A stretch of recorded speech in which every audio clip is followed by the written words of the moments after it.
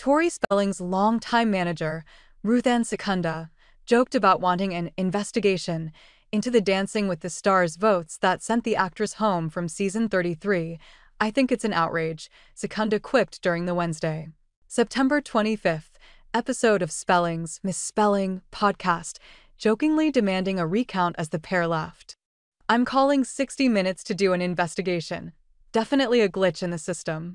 Spelling, 51 and pro partner Pasha Pashkov were eliminated during the Tuesday, September 24th episode of DWTS, alongside Anna Delvey and Ezra Sosa, if airlines can be grounded from a glitch.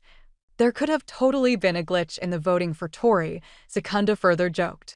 I'm suspicious. Spelling then jokingly asked if it'd be possible to run a ballroom recount, similar to ones during political elections, I really didn't have a gut instinct that we would be voted off, Spelling added on the podcast. Listen, I'm a realist. I came into this with no dance experience, and I didn't expect to win the mirror ball. Spelling further gushed that she was grateful for the overall experience. What an unbelievable experience. This is all such a new territory for me, and I had such an incredible experience, Spelling told Secunda. There's so many things dancing through my head right now, you guys, so many thoughts, so many feelings. I guess the big word is just gratitude. Honestly, I loved every second of this experience. I'm not gonna lie.